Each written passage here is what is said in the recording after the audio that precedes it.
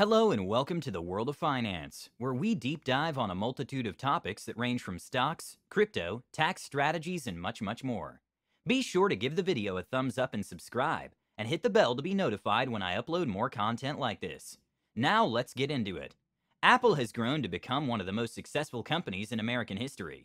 Through its innovative strategies, Apple's stock has risen from a price of 11 cents on October 9, 1982, to being currently $147.27 at the time of this video.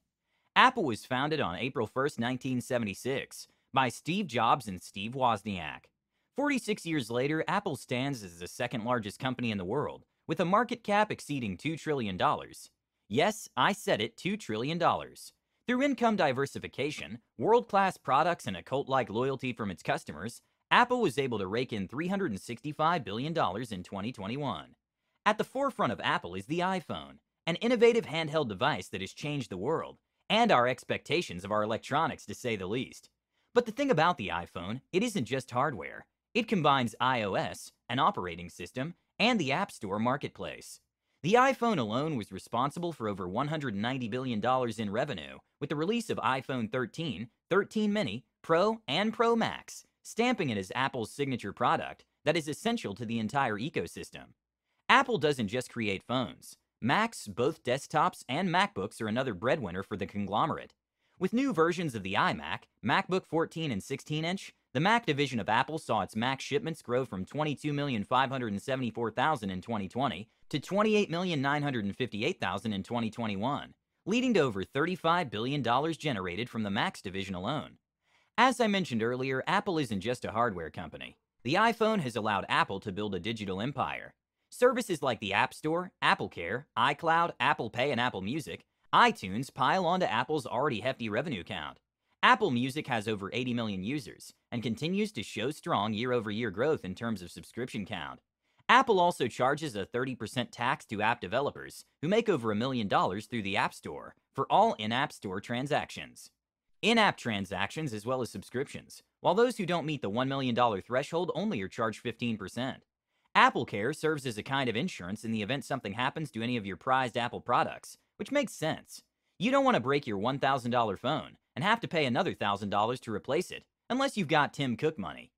iCloud, the cloud service used by individuals and businesses alike, also proved to be a strong performer in Apple's portfolio.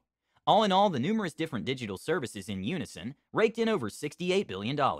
Being that these devices are all digital, safe to say diversification isn't a problem for Apple. Highest touted accessories like the Apple Watch and AirPods are also very strong earners for Apple. Following the launch of the AirPods Max in mid December 2020, as well as the Apple Watch Series 7 in 2021, these launches helped to drive strong sales and further drive up revenue count. These accessories together accumulated for over $35 billion in revenue generated. What Apple made of accessories alone topples most companies' revenues over a 10 year stretch. Jeez. Last but certainly not least, the iPad. I guess you can call it the big brother to the iPhone, but the little brother to the Mac. iPads are very popular amongst children and young adults, as they create their own unique experience.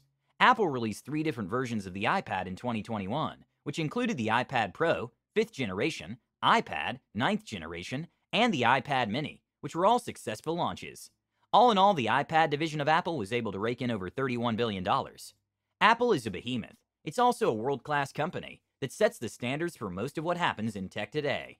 Apple as a company provides the world with extreme value, and it shows in their market cap, which today stands at over $2 trillion. If I had to bet on any stock, it would be Apple. And that concludes my video. I hope you enjoyed the video. Be sure to like the video and subscribe to the channel, and hit the bell to be notified when I upload more content just like this. Peace and love.